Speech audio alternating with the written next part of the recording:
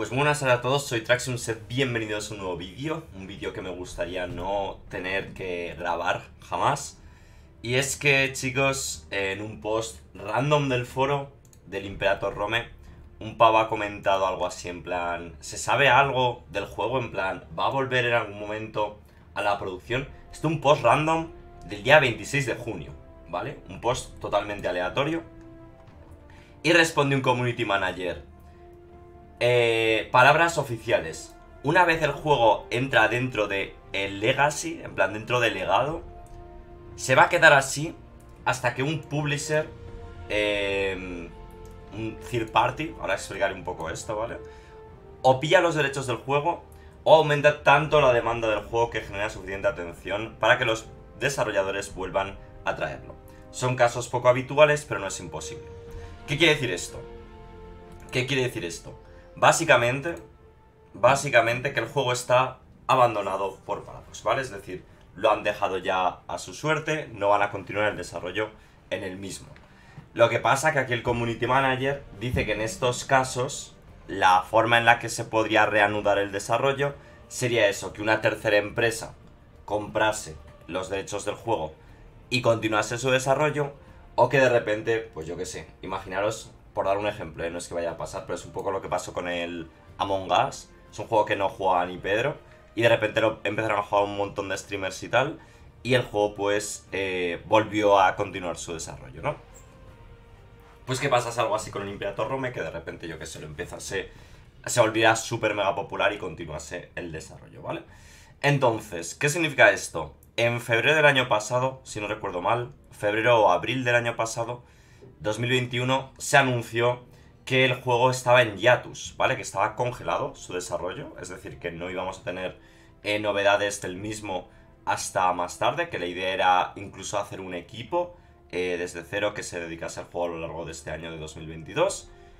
Y no hemos sabido nada desde abril de 2021, como digo, ha pasado año y pico. Y la siguiente novedad que hemos tenido es esto, que el juego está en Legacy. Nadie sabe qué cojones significa Legacy, es la primera vez que emplean ese término pero entendemos que es lo, eh, el término con el que hacen referencia a juegos como Crusader Kings 2, Europa Universalis 3, etcétera, juegos que están pues ya, eh, por así decirlo, que no tienen ningún tipo de desarrollo, ¿vale? Me parece una forma cutrísima anunciar esto de esta manera, que ni siquiera tú entras al, al foro del Imperator, ni siquiera hay un post. De hecho, uno de los posts destacados que salen es un diario de desarrollo incluso del, último parche que hubo, mirad, enero del 25 y es uno de los últimos posts destacados. No hay ni siquiera un tweet, no hay eh, nada en el Twitter de Paradox, no hay ninguna noticia, no hay ningún anuncio oficial por ninguna manera, de ninguna manera, sino que es un post random en el foro, ¿vale? Es una respuesta random a un post en el foro, esa ha sido la forma de anunciar que definitivamente Imperator Rome está abandonado. Obviamente, He hablado de esto continuamente en un montón de streamers y por ahí. Es un movimiento que me parece fatal por parte de Paradox. De hecho, yo creo que es para mí el peor gesto que han tenido con la, hacia la comunidad de lejos en los últimos años. Y es un gesto que mina mucho la confianza, bajo mi punto de vista, de la comunidad en la empresa. Una empresa que, en mi opinión, eh, en mi opinión, y yo creo que en gran parte creo que es la realidad, ¿vale? Es una empresa que se debe especialmente a los fans, ¿vale? Es una empresa que, que tradicionalmente ha sido especialmente transparente con los desarrollos, a la hora de publicar diarios de desarrollo, a la hora de ser próximos de, eh, con la comunidad y que eh, pues han priorizado obviamente mover a todo el equipo que está trabajando en Imperator Rome a otros desarrollos que van a ser más rentables, ¿no? O sea, el ejemplo clásico es eso, si sacan un DLC del Imperator Rome y van a hacer, yo qué sé, 50.000 dólares, eh, sacar un DLC del Europa Series 4 o del Hoi 4 o del Stellaris igual hacían medio millón, ¿no? En plan, es una diferencia exponencial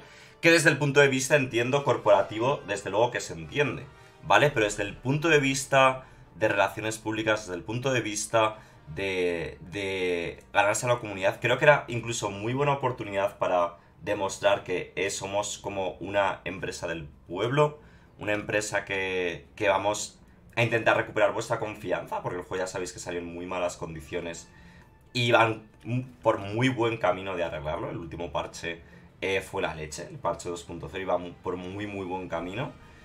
Y Paradox ha decidido, pues, no tomar esta oportunidad como sí que hicieron otras empresas. Muchas empresas no hacen esto, ¿vale? En plan, lo normal es hacer lo que ha hecho aquí Paradox. Blizzard lo ha hecho mil 200 veces con cada uno de sus juegos, el abandonar el desarrollo.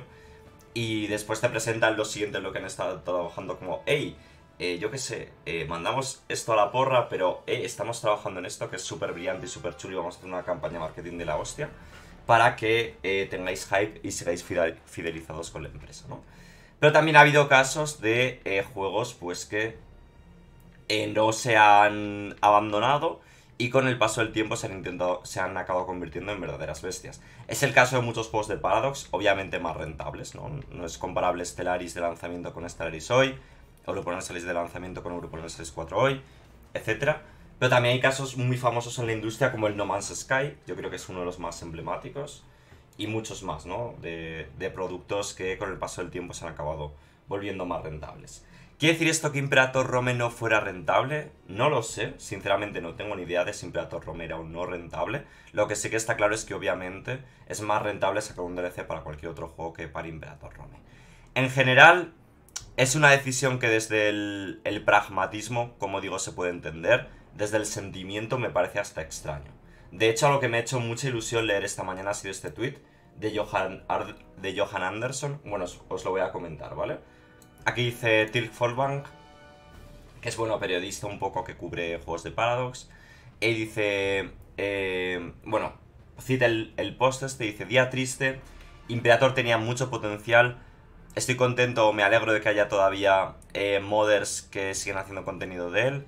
Incluso eh, me pregunto si eh, no va a acabar volviendo loco. Quizá acaben pensando en solo contenido que no hagan. Bueno, en fin, que podrían, yo que sé, haberse aproximado al juego al Imperator Rome sacando solo DLCs de contenido, rollo añadiendo árboles de misiones y cosas así. Y no necesariamente rehacer secciones enteras de gameplay, pues un poco por mantener el, el yo que sé, algún tipo de actualizaciones para el juego, ¿no?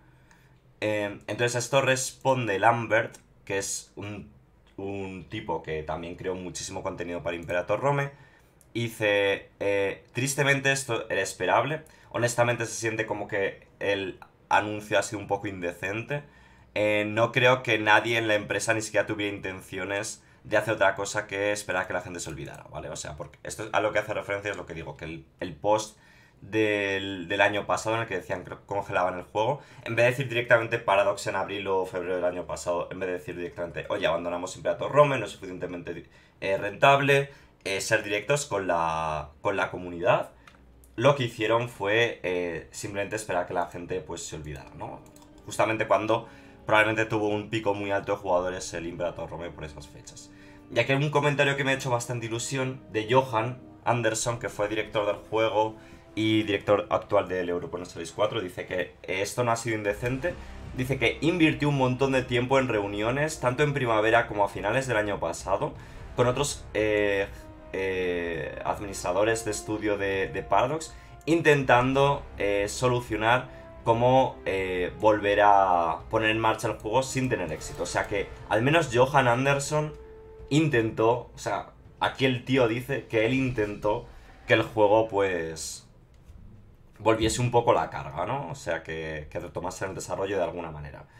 Entonces, estas son un poco las novedades, chicos. A mí me pone muy, muy triste, como digo. O sea, ya eh, los que lleváis tiempo siguiéndome, sabéis que en cada directo que iba a anunciar algo eh, Paradox estábamos con el, gusanillo ahí de quizá anuncien el retorno de Imperator Rome, quizá en la próxima con un equipo pequeñito, aunque solo simplemente nos digan, oye, tenemos alguna persona trabajando en ello, e intentar un poco levantar el juego, ¿no? Levantar el juego de, de donde estaba, ¿no? Gracias a Dios, mucha gente lo dice, están mods como el Imperator Invictus y otros tantos. O sea que el juego, pues si sigues queriendo jugar, si le sigues teniendo cariño, vas a tener opciones de jugarlo. Eh, lo que nos queda de aquí es un gesto feo, en mi opinión, por parte de Paradox. Que es cierto que siempre tenemos el siguiente de, de Stellaris, de Hoi 4, de, de Imperator Romano. Eh, que está el, el, Victoria 3 de camino, etcétera, que hay cosas como con mucho hype, ¿sabes? Y cosas por las que estar contentos y con ilusión y tal, pero también a veces, pues, hay cosas pues que están están feas y yo creo que hay que decirlo, ¿vale? Están feas y yo creo que este es un gesto. Al menos yo creo que podrían haber sido más directos, ¿vale? Sé que a nivel de, de community management o como se diga, de gestión de comunidades, de hablar con el público directamente, es duro decir la verdad y hay que emplear lenguaje enrevesado y no decir nunca las cosas directamente, porque son... Hay que utilizar el lenguaje este corporativo de las empresas, de sí, se vienen cosas excitantes, em, el futuro es brillante, no sé qué tal. Y a veces como que cuesta mucho decir la verdad. Y yo creo que estas noticias, esta noticia no hubiera sido tan, tanto palo, darla así ahora, de esta manera además, que no habiéndolo... O sea, hubiera chocado muchísimo en abril del año pasado habernos contado esto, pero eh, sinceramente hubiera sido mejor que alargarnos un año entero esperando un poco que se le baje el hype a la gente o que la gente ya se desilusione o pierda el interés y contarlo de forma tan pocha en un post random, ¿vale? Encima dando a entender como que sí, claro, si una empresa cualquiera, yo que sé, Microsoft, imaginaros, ¿vale? Llega a Microsoft y dice, no, es que me interesa de repente hacerme con Imperator Rom y dedicar gente a, a el juego, ¿no? O sea, a desarrollar el juego. Plan, como dando a entender que, yo que sé, se puede dar el caso en, en el que una third party se hace con los derechos del juego y reanuda el desarrollo. Y es como, tío, o sea, tampoco, tampoco nos cuentes mil más, ¿sabes? En plan, no sé, en plan... Es duro, ¿sabes? Y, y supongo que si os daba igual el juego, esto os dará más igual, pero a mí me duele que se haya hecho esto así, ¿sabes? Me duele. Sobre todo porque llevo muchos, muchos años siguiendo esta empresa. Llevaría igual 10 eh, años o más. Y es como, tío. Eh, yo qué sé, que no es la primera vez que pasa. Ha pasado con Son Goku, ha pasado con March of the Eagles. Ha pasado con Victoria 2 también hasta cierto punto. Entonces, chicos, o sea, yo creo que es un poco cuestión de ser maduros, de afrontar la realidad y si tienes una mala noticia, diga, tío. O sea, es parte de, estar de cara al público, aunque no sea tu decisión. Yo sé que un community manager, que una persona que tiene que, estar de cara al público es una putada tener que comunicarle una decisión que han hecho gente que ni siquiera va a dar la, que jamás va a dar la cara. Es una putada tener que comentarlo y tragar mierda. Tú en el foro, o yo que sé, en un bar, o en cualquier, en un sitio de asistencia al cliente. Eso es cierto, pero tío, es parte, es tu trabajo, ¿sabes? En plan, tu trabajo es comunicar estas cosas y yo creo que esto se podría haber llevado de una manera mucho, mucho, mucho mejor.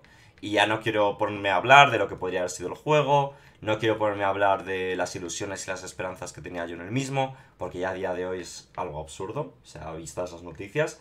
Estoy muy triste, las cosas como son, me hubiera gustado que las cosas fueran de otra manera. Entiendo que dentro de muchos años, no sé, igual 8 años o algo así, no sé, dentro de que yo en un par de ciclos de juegos de Paradox, quizá tengamos el Imperator Rome 2 o un sucesor espiritual que cubra, yo que sé, también eh, la edad oscura, lo que sea, en plan, yo creo que Paradox volverá a visitar esta época en el futuro y desde luego... Eh, y desde luego espero que sea con mejor pie, ¿no? Al menos el comienzo, porque es cierto que es algo que está ahí pendiente, ¿no? Em, lo cual un poco pues es una pena, como digo, ¿no? Por lo que podría haber sido el juego. Pero bueno, sabemos que muchas de las mecánicas que se han probado aquí se podrían aplicar en Europa Solis 5, cosas como el sistema de, de población, como se hizo. Vamos a echar un vistazo un poco a lo que habéis comentado. Porque aquí hablo un montón de gente, ¿vale? Em, bueno, sí puedo ver los retweets. Vale, aquí de Yanira, por ejemplo, Tristón. Epey diciendo que el espíritu va a perdurar en forma de U5, yo creo, yo estoy totalmente seguro de que esto va a ser así. Eh, Miguel comenta puta vida, Antonio Flores Ledesma, Imperator Rome ha sido la o la técnica de preparar el terreno a Victoria 3, como fue March of the Eagles Paradox siendo Paradox. Bueno, Victoria 3 tiene pinta de que le han allanado un poco más el terreno Stellaris y Crusader Kings 3 que no Imperator, pero es cierto que, pinta cosillas, ¿no? Por ahí. Giovanni que dice Save Imperator. Vamos a ver qué ha dicho un poco la gente por aquí. Eh... wow, tengo a Javi silenciado. ¿Por qué, tío? What? Pero si le respondí ayer. O sea, no sé por qué. ¿Eso qué significa? Dice, pobre Javi, que el juego está silenciado, otro March Dios, pero no entiendo por qué está silenciado. Si yo ayer, o sea, me salió el tweet, hasta le respondí, ¿sabes? Pero le he debido No sé, le he debido dar sin querer, what the fuck. Random, pero bueno. Otro March of the Eagles es si no bajan el precio. Porque iban a bajar el precio, tío. De hecho, esta es otra, tío. Es que esto yo lo peleé muchísimo, le escribí a los desarrolladores y todo. El juego está en español, está en español de España y a día de hoy sigue apareciendo en Steam como que no está en español, pero sí que está en español, tío. Sí que está en español. Y mucha gente, estoy seguro que no se, no se lo compró porque pone que no está en español de España. Y sí que estaba, tío. Desde el día 1. Y sí que estaba. Y esto no lo solucionaron nunca, que era literalmente cambiar una cosa en Steam y no lo hicieron jamás. Y, y lo dije, rollo, que me acuerdo de mandarles un correo, incluso cada vez que salió un DLC, y antes de que saliera el juego, tío. O sea, what, ¿sabes? Tenemos que hacer una colecta para comprar los derechos del juego. Esta es típica cosa que podríamos hacer si estuviéramos muy empastados, ¿no? El Rome se fue a tomar por culo, mismo incluso se plantean vender la licencia del juego. Ya, pero ¿quién va a querer eh, venderlo y contratar un equipo que, que, se dedique a desarrollar esto, ¿sabes? Que esté fuera de Paradox. Igual si la gente del Invictus hiciera con los derechos, no sé. Me gustó el juego y espera con mucho ánimo una próxima actualización. Es que eso es lo extraño, tío. Que sale la 2.0, la 2.0 fue la hostia. Y lo siguiente que sabemos del juego es nada. Se ve la 2.0 que fue como, hostia, mirad lo que han mejorado Imperator Rome, eh, fue la, el momento que más gente jugó desde el lanzamiento, y lo siguiente que subimos al juego fue nada. Nada. No sé, yo disfruto el juego tal como es, en mi caso considero el juego terminado, aunque se pueden mejorar ciertas cosas. A ver, el juego está bien y es muy disfrutable a día de hoy, que esto no se olvide a nadie, ¿vale? Pero obviamente el juego tiene mucho margen de mejora a día de hoy. O sea, las cosas como son. Conociendo un poco los, los juegos de Paradox, el juego tiene mucho margen de mejora. El sistema de comercio se podía rehacer totalmente. Las tribus estaban un poco pochas. La India, eh, un poco más allá, tío, pues obviamente podía tener mucho más contenido en el juego todavía, ¿sabes? Esto confirma lo que todos ya sabíamos. Esto es cierto, ¿vale? No es nada que nos pille totalmente de sorpresa, ¿vale? Pero han sido un poco las formas, ha sido un poco el... Yo qué sé, no ser directos, ¿no? Como ya he comentado. Día triste totalmente. Verita por Imperator todas las veritas que hemos puesto para nada, ¿no? Eso es bueno que se lo vendan a otro. Ojalá, también os digo, ojalá se lo vendrían a otro y retomasen el desarrollo, pero ¿quién va a hacerlo, sabes? Pues qué pena, tenía posibilidades si se estaba bien encaminado, literal. Justo hace poco estuve jugando y sigo pensando lo mismo. Es un juego que podría haber sido uno de los grandes de Paradox, pero no le dieron la oportunidad ni tiempo. Literal. Es que para mí tenía sistemas este juego, tío, que que lo habrían convertido en una auténtica bestia parda de, los juegos de Paradox, sinceramente. En plan, es un juego que en mi opinión, con suficientes actualizaciones y contenido, podría acabar superando al Universalis 4, ¿vale? Porque la base, o sea, Imperator Rome, en el estado actual, comparado con Universalis 4 lanzamiento, me parece mucho más robusto y con mecánicas mucho más interesantes que las de Universalis 4. Y Universalis 4 ha tenido 9 años de DLCs, y probablemente haya tener 10 o 11, y Imperator Rome, uno y medio, dos, o algo así. Y la base, como digo, la base, insisto, con todos los parches que tuvo ahora mismo, en plan, me parece más sólida. Una pena con el último update le mejoraron bastante, pero la salida fue muy abrupta, totalmente. Nunca me gustó ni con los cambios, la interfaz me sigue pareciendo muy mal a mi gusto. Sí que es cierto que la interfaz, aunque la rehicieron en la 2.0, podrían haber retocado algunas cosillas más. Por ejemplo, el levantarle base y tal me parece como un poco... Eh, me. Eh, Emir Banem Reis dice hazte con los derechos. Trax, sabes que debes, ojalá. Y no han funcionado las velitas, eso me pone triste. Pues nada, chicos, nada más que comentar. Eh, que no hayamos dicho ya mil veces en lo que hay. Aquí está el post, chicos, avisando del final de Imperator Rome. Poco más que decir, espero que os haya resultado de interés este vídeo. ¿Por qué cojones tengo silenciado a Javi, tío? O sea, what the fuck. Venga, chicos, nos vemos en el siguiente vídeo. Chao, chao.